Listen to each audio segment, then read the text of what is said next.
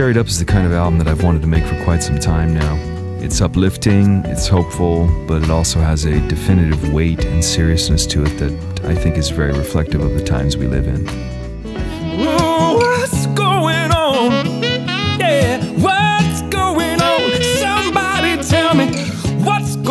On. Oh, don't miss a beat now.